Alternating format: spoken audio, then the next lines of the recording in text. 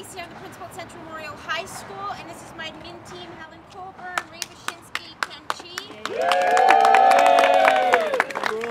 And we have been nominated to do the ASL Ice Bucket Challenge from our good friends over at Bishop Pinkham. So Michelle Howell, this is for you and your team.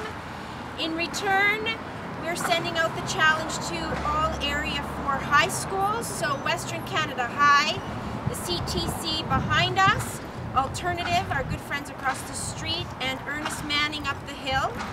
As well, the challenge would not be complete coming from Central Memorial if it didn't include Forest Lawn High School. Bowness High School, Jana, you're up.